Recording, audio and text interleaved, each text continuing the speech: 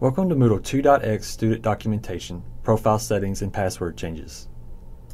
Your profile on your school's Moodle portal has been set with a few default values, but it's a great idea to personalize it so that your fellow students can get to know you better. To edit your profile settings, begin on the main portal front page or the main course page and locate the Navigation block. This block may either be on the right side of your screen or you may have docked it to the left. Under the Navigation block, click on My Profile and then click View Profile. Your public profile page will appear.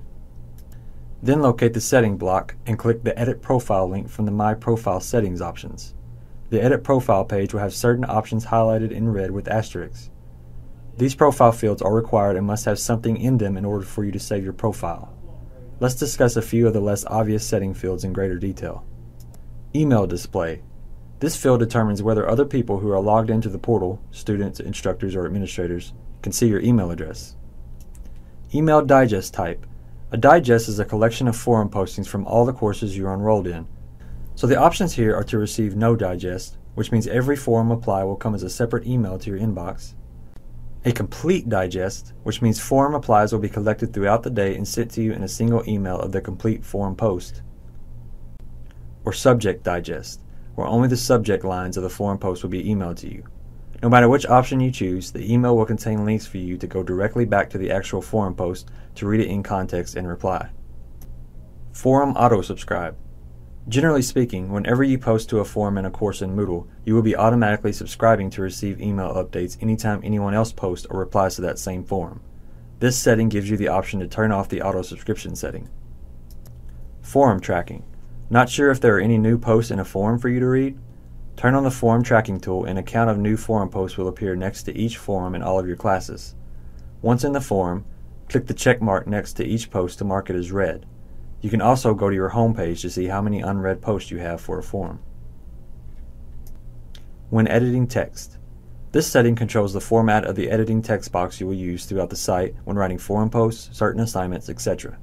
We recommend that you leave this on the default setting, the HTML editor. Screen Reader if this is set to yes, you will be able to access course information using any screen reader program installed on your computer. Moodle will use a more accessible interface than normal for certain activities, such as chat. City slash town. This field tells other people in the portal where you live. You can enter anywhere you'd like in this field. Time zone. This field is for you to select your correct time zone.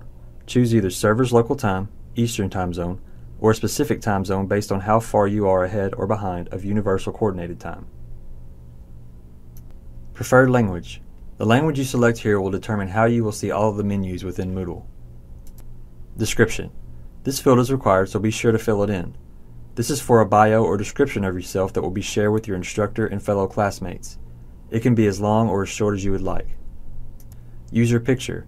You can upload a photo of yourself here to be included in your profile information, next to your forum postings, and in other places that only the instructor can see, such as the grading area for assignments. Your picture needs to be in JPG or PNG format, and if it's not already a square 100 by 100 pixels, the system will crop and resize it. Interest.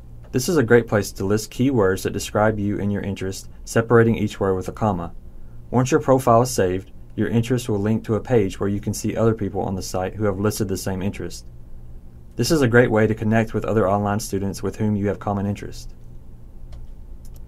Optional. Keep in mind that everyone on the site has access to view your profile, so only list information here that you are comfortable sharing. It's okay to leave these settings blank if you don't have an account for that service or don't want to share your information. When you have made all of your changes, click the Update Profile button. Your new profile page will appear. Password change. Do you use the same login information for your school's email site and Moodle portal? If so, your school may be using an automated authentication method that links these two logins.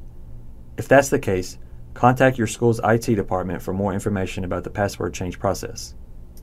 If that doesn't sound familiar, your school may be using a manual authentication method, so you can change your password here in the Moodle portal. To change your login password, Locate the Settings block and click on My Profile Settings. Click Change Password. Type in the current password you're using once and the new password twice. When you click Save Changes, the profile page will open again.